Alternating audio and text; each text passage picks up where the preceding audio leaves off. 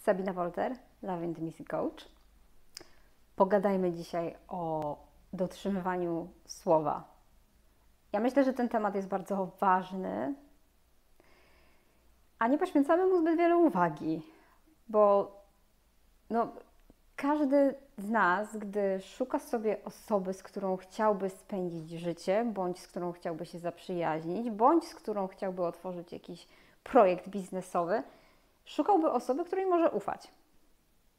Takiej, która dotrzyma słowa. Ja bym chciała podjąć się dzisiaj tematu wyjaśnienia, czym jest właśnie zaufanie i dotrzymywanie słowa w takim szerszym kontekście. I zacznę może od tego zaufania. Jeśli chodzi o zaufanie, to w wielu kwestiach robimy to źle. I co mam na myśli? Mam na myśli to, że gdy obdarzamy kogoś zaufaniem, to mamy takie podejście, że chcemy, żeby najpierw ta osoba nam pokazała, że możemy jej zaufać, a później my jej zaufamy, żebyśmy my czuli się bezpiecznie, żebyśmy my czuli się pewnie i żebyśmy my wiedzieli, że to zaufanie będzie się zwracać.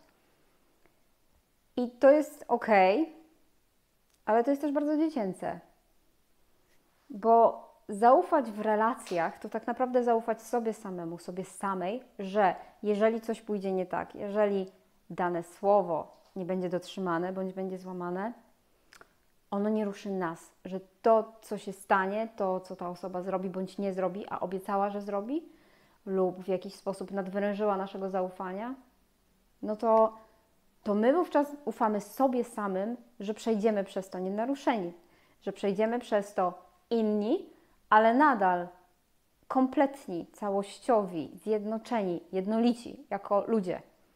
Że ta osoba, no to ona coś zrobiła bądź czegoś nie zrobiła, ale to już jest nasze, co my z tym zrobimy, co ona zrobiła. I my możemy z tym pracować i my możemy coś z tym zrobić. Podjąć decyzję odnośnie dalszych kroków, jak dalej prowadzić tę relację, jak wyjaśnić to, co się stało, zrozumieć konteksty, które prowadziły do tego, a nie innego zachowania, działania tej osoby, która nadwyrężyła to zaufanie. Podczas gdy właśnie mamy tendencję do tego, żeby raczej stosować technikę pokaż mi, że mogę Ci ufać i wtedy Ci zaufam. I to się nie różni niczym od takiej dziecięcej potrzeby kontroli. Dzieci muszą mieć wszystko pod kontrolą. Dzieci potrzebują wiedzieć, że o określonym czasie jest wieczorynka czy tam bajeczka, że będą jadły z tego samego talerzyka, że mama jest zawsze gdzieś obok, że tata zawsze gdzieś patrzy, że zawsze ktoś będzie i zawsze będzie w tym otoczeniu bezpieczne. I dla realizowania tej dziecięcej potrzeby przewidywalności, bezpieczeństwa i kontynuacji, dzieci wykształcają w sobie potężną potrzebę kontroli i manipulują.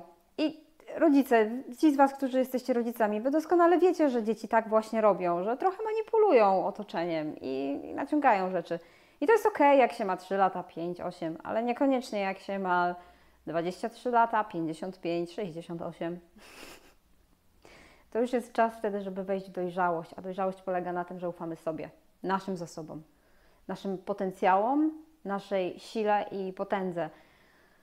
I nie znaczy to znowu, że możemy pozwalać innym robić co chcą, bo ufamy sobie, że będzie wszystko ok, bo to znowu jest druga strona szali, czyli nadwyrężanie siebie w imię bycia w relacji. Jako jeden z powodów bycia w takiej relacji, w imię bycia po prostu, bądź żeby nie czuć się samotnym. I to już też nie jest ok. Tutaj trzeba nawigować poprzez własne odczucia i emocje i naprawdę w prawdzie i szczerości rozmawiać z drugim człowiekiem i autentycznie przyznawać się do tego, co czujemy, jak to widzimy. Przechodząc teraz do kwestii prawdomówności, dotrzymywania słowa, kto z nas przynajmniej kilka tysięcy razy w życiu nie złamał słowa? Swojego własnego szczególnie. Od jutra zacznę. Nigdy więcej. To był ostatni raz. Następnym razem zachowam się tak. Trzeba było powiedzieć tak i tak, i następnym razem właśnie tak zrobię. A potem dochodzi do tej sytuacji testowej i robimy tak samo. Ci z Was i dawno ja też, którzy mieli problemy z ciężkimi nałogami, dobrze wiedzą, że co rano budząc się, obiecuję się sobie, to był ostatni raz, dzisiaj tego nie zrobię, a potem po fakcie, po drinku czy wciągnięciu tej kreski, mówi się sobie, znowu to zrobiłam, czy znowu to zrobiłem. I to był ostatni raz. A potem się to powtarza. I łamiąc słowo dane sobie, jak możemy oczekiwać, że będziemy dotrzymywać je względem innych? Chciałabym teraz zaznaczyć bardzo ważną rzecz na przykładzie. I tak będziemy łamać słowo. I tak ktoś, kto da nam swoje słowo, będzie je łamać albo nadwyrężać, bo nie zapomni, że je dał. I tak to się będzie działo. To jest kwestia tego, w jaki sposób i z jakim nastawieniem traktujemy taki kontekst. Jak wychodzimy z takiej sytuacji? Podam dwa przykłady, które dobrze to zobrazują. Mam przyjaciela, który umawia się ze mną, że zobaczymy się tego i tego dnia o tej o tej godzinie, czy mam wtedy czas. Ja mu tłumaczę, że jestem wtedy zajęta, ale wiedząc, że on bywa w tych rejonach, gdzie ja mieszkam bardzo, bardzo rzadko, no to jestem gotowa na to, żeby poprzesuwać moje plany, przeprosić niektórych klientów, że przesunę spotkanie o dzień albo na wcześniejszą godzinę. I dziękując moim klientom, że faktycznie się na to zgadzają, mówię do mojego przyjaciela, że okej, okay, dobra, wbijaj do mnie, zobaczymy się o tej i o tej godzinie, mam czas, mam przestrzeń, wbijaj. Przychodzi moment spotkania, jest 15 minut po czasie, jest pół godziny po czasie, są dwie godziny po czasie. I po paru godzinach, bardzo wieczorem, e, inny mój znajomy pisze do mnie, że wiemy, że on miał do Ciebie wpaść, ale wiesz, on jest teraz z nami. No i cóż, sytuacja rozwinęła się w taki sposób, że zadzwoniłam do mojego przyjaciela i powiedziałam mu, że czuję się bardzo zawiedziona tym, że tak naprawdę straciłam czas, a czas jest dla mnie wartością, która jest niezwykle ważna i dla Ciebie też powinna być. Bo im starsi jesteśmy, tym mniej czasu mamy, tym bardziej wartościowy jest ten zasób. I dla mnie strata czasu jest, jest, jest tragiczna. Jest, to jest rzecz, której naprawdę osobiście bardzo dosłownie nienawidzę. Nienawidzę tracić czasu tracić na czekanie, szczególnie to jest bez sensu. Więc bardzo szczerze i z wielką miłością też wytłumaczyłam mojemu przyjacielowi, że to mnie zawiodło, że jeżeli chciałby utrzymać tę przyjaźń, bo to nie był pierwszy raz, że tak robił, to ja potrzebuję wiedzieć, że on dotrzyma swojego słowa i następnym razem, jeżeli przyjdzie nam się spotkać, to on musi dać mi znać wcześniej, że do tego spotkania nie miałoby dojść, a nie, że po paru godzinach dowiaduje się od kogoś innego tłumaczenie mojego przyjaciela było bardzo interesujące, bo to mój przyjaciel powiedział, ale mi się rozładował telefon, ja nie miałem jak Ci powiedzieć, my w ogóle to gdzieś wyjechaliśmy, oni mnie poprosili, ja nie wiedziałam jak powiedzieć nie.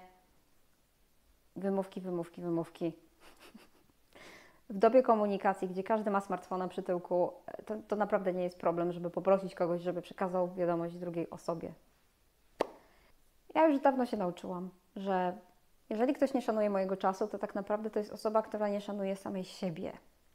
Zrobiło mi się przykro, też powiedziałam o tym mojemu przyjacielowi. On wie, czym ja się zajmuję, on wie, jak bardzo głębokie są relacje prywatne moje z moimi przyjaciółmi, w jakich jestem i wie, że może się ode mnie spodziewać naprawdę surowych słów czasami. I według mnie na tym polega też bardzo ważna część przyjaźni, żeby mówić sobie prawdę. Natomiast on przeprosił, wyraził taką swoją, e, wyraził swój żal i powiedział, że to był ostatni raz, nigdy więcej tak nie zrobi. Tylko teraz taka osoba, jeżeli gdzieś na jakimś etapie wy mieliście coś podobnego, jakieś podobne doświadczenie, bądź byliście tą osobą, która zawiodła drugą, w tym momencie, jeżeli obiecujesz komuś, że raz, że przepraszasz i dwa, nigdy więcej tak nie zrobisz i trzy, będziesz robić inaczej, twoje przepraszam nic nie znaczy, o ile nie idzie za tym akcja, która to potwierdza. Koniec i kropka. Bo mój kumpel teraz wie, że ja mu patrzę na ręce i słucham, co mówi. Gdy się spotkaliśmy następnym razem, faktycznie był bardzo punktualny, za co mu podziękowałam. I on jednak wie, że jednak będzie potrzebował tak naprawdę zwrócić uwagę na to, komu mówi tak, a komu mówi nie czasami. Mam nadzieję, że z tą lekcją on się też tego nauczy. Jest też drugi kontekst są sytuacje, na które naprawdę nie mamy wpływu i nie jesteśmy w stanie dotrzymać słowa. I podam przykład. W marcu umarła moja babcia. I spieramy się z rodziną do tego, żeby zorganizować wszystkie rzeczy wokół pogrzebu, żeby pobyć też ze sobą, żeby dobrze ją pożegnać. I Oczywiście, że miałam w tym czasie zaplanowane spotkania z klientami, których kocham prowadzić, którym jestem bardzo wdzięczna, że mnie wybierają, ale w tamtym momencie, przez te kilka dni, dałam im znać, że i, i każdą z tych osób po kolei poinformowałam, jest sytuacja, jest taki kontekst. Stało się coś, co jest w moim prywatnym życiu dla mnie teraz priorytetem do ogarnięcia i dotyczy to śmierci mojej babci, pogrzebu i rzeczy, które wokół niego teraz krążą. Potrzebuję przesunąć nasze spotkania, bardzo Cię proszę o zrozumienie, ale nie chcę zostawiać Cię samego czy samej w tym, co się dzieje z Tobą w tej chwili i obiecuję Ci, że jak tylko będę miała czas, chwilę i moment, zawsze możesz do mnie napisać, możemy przez chwilę pogadać i spotkamy się po prostu o tej samej godzinie w następnym tygodniu. I ufam, że to spotyka się z Twoim zrozumieniem. I tak, złamałam moje słowo. Nie spotkałam się z tymi ludźmi w tym czasie, jaki był wyznaczony. Ale w tamtym momencie śmierć mojej babci była na tyle dla mnie istotna i te wszystkie rzeczy, które towarzyszyły temu dookoła, że czułam, że jest coś ważniejszego i nie bałam się złamać mojego słowa.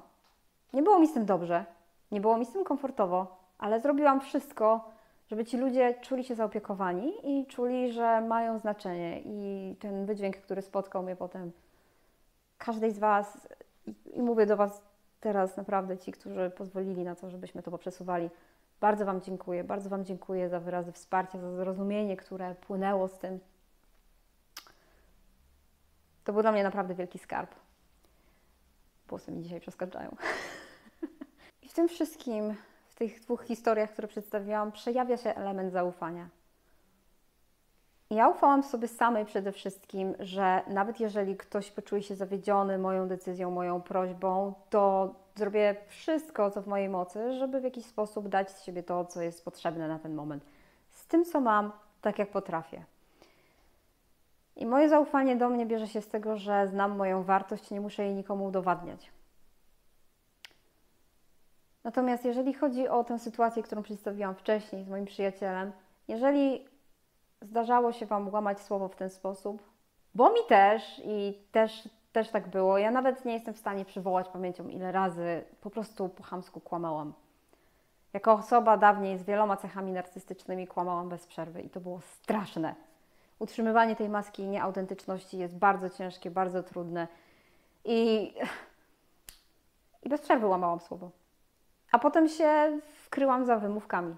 E, albo pogoda, albo coś tam, albo on zrobił tak i ja musiałam wtedy to i to, nigdy nie brałam odpowiedzialności za to. Dziś wiem, jakie to było niedojrzałe i głupie, szczerze mówiąc.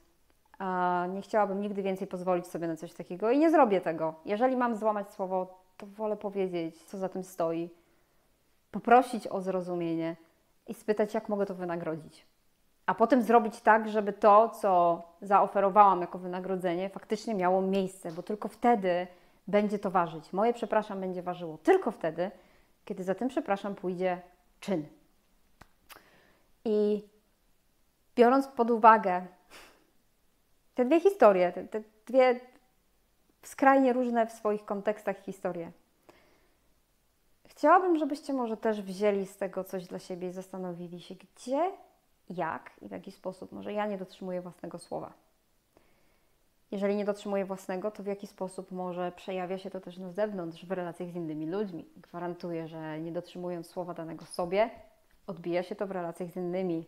Jak mogę naprawić to, co ewentualnie się uszkodziło w wyniku tego, że nie dotrzymałam czy nie dotrzymałem danego słowa? Kto nie dotrzymuję słowa względem mnie. Co takiego jest w mojej energii, w moim takim naturalnym kodzie, że przyciągam takich ludzi, którzy łamią swoje słowo albo nadużywają mojego zaufania. Co jest takiego we mnie, że przyciągam takie osoby, że coś takiego się dzieje? Jak mogę z tym pracować? Jak mogę to zaakceptować, żeby zrobić z tego coś, co będzie mi służyło? Ja myślę, że to są ważne pytania.